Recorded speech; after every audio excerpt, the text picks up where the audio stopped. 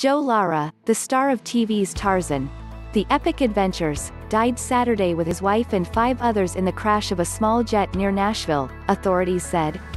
He was 58. A Cessna C-501 plunged into Percy Priest Lake near Smyrna, Tennessee, after taking off from Smyrna Rutherford County Airport at about 11 a.m., the Federal Aviation Administration said in a statement.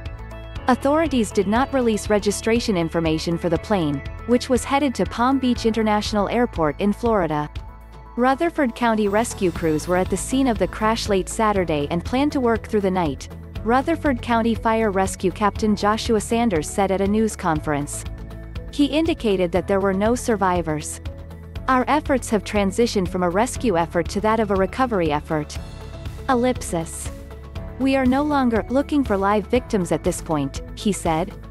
Among those on board with Lara was his wife, author and diet guru Gwen Lara, who founded the faith-based Weigh Down Workshop and, in 1999, the Remnant Fellowship Church. They married in 2018. Born in San Diego on October 2, 1962, William Joseph Lara started out as a model before he landed the lead in the 1989 CBS telefilm Tarzan in Manhattan, which found the king of the jungle in New York trying to rescue his chimp, Cheetah. He then played the Edgar Rice Burroughs character on the 1996-97 first-run syndicated series Tarzan, The Epic Adventures, filmed in South Africa. He produced that series as well.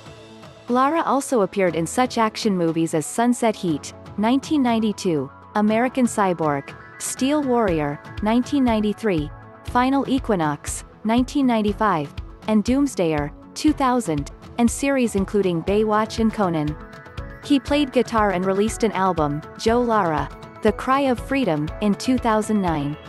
Lara and his wife lived in Brentwood, Tennessee. Survivors also include his daughter, Liana,